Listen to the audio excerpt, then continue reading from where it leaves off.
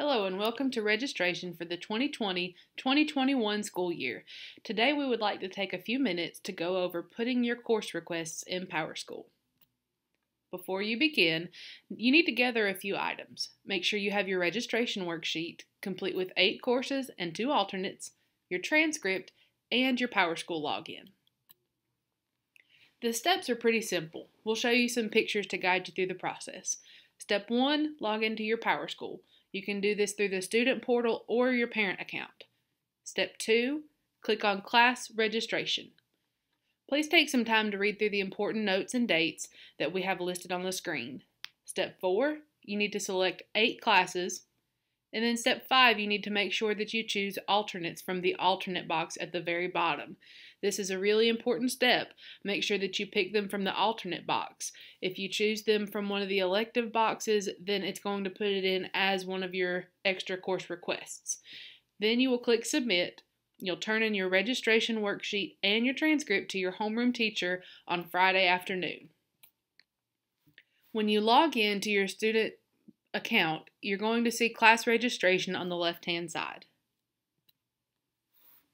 You'll see a screen that has all these important dates listed, including when PowerSchool will be open, when we have the registration help table, and the two weeks that we'll hold individual appointments. Please take a moment to look through these before you select your classes. Depending on your grade level, you'll see a box with each core subject English, Math, Science, Social Studies, World Language, electives, PE, fine arts, miscellaneous, and then at the very bottom is the alternate box that we were discussing. You'll see red exclamation points or green check marks off to the side. That's addressed in the frequently asked questions. One of the neat features about using PowerSchool for course requests is that you will be able to see what your teachers have recommended. For example, this student is registering for 12th grade classes, when they pick the English box, they'll see that their teacher has recommended English 4 CP.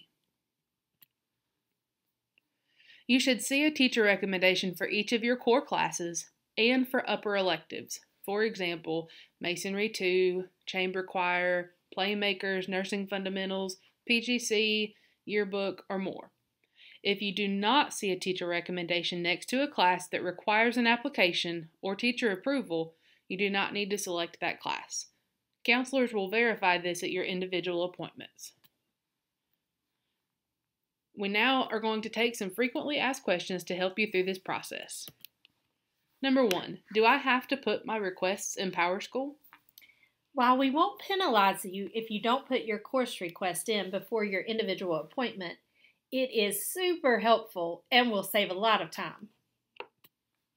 What if I want to take a level other than what my teacher recommended? Be careful here.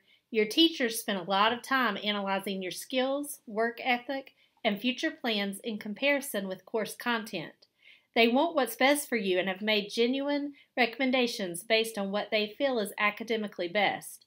With that being said, if you and your parent or guardian are determined that you would be better suited for a different level, you must bring in a signed course override form to your registration appointment. This is a big commitment. It is not a quick fix for boosting your GPA. It's a semester long or a year long commitment to hard work and dedication.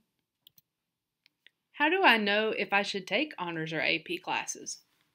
You have teacher feedback, past performance, a passion for the subject, strong work habits, enjoy problem solving, and you have to love a good challenge. Who can I ask about AP? Any of the AP teachers or your grade level counselor. Who can I ask about CCP? You can email ccp at clevelandcc.edu or ask your grade level counselor. How many classes do I need to request? You need eight classes and two alternates. If you are a rising senior and want to be a mid year grad, you will need four classes and two alternates. PowerSchool may not recognize this scenario, but please make sure that you complete your worksheet and we can update PowerSchool at your individual appointment. Will I get my alternate choices? Only as a last resort. We work very hard for literally hundreds of hours to get you exactly what you requested. There are times that classes fill up or just aren't offered during a time that works with your schedule. We will make sure you get your core classes, but if there's an irreconcilable conflict with an elective, we would have to refer to your alternates. What if I have a problem and I can't put one of my courses in PowerSchool? Don't panic. Make sure your worksheet is complete and turned in to your homeroom teacher by the due date. We will refer to your worksheet during your appointment and we'll fix it at that time. How do I handle the combination classes? For a combo class like AP US Government and Civics, please play, pay close attention to the notes in PowerSchool. You will request both courses so that it will take up two spots in your total of eight. We will double check this at your appointment. Do I put my CCP classes in PowerSchool? No, no, no. Please carefully look through the curriculum guide and pay special attention to your options. Go ahead and select your eight classes and two alternates. You will meet with a CCC staff member who will verify your eligibility, and then your grade level counselor will put that request in for you. For courses that transfer to a four year school, you must have a 2.8 unweighted GPA to enroll. That's all for today. We hope we've answered every question that you might have.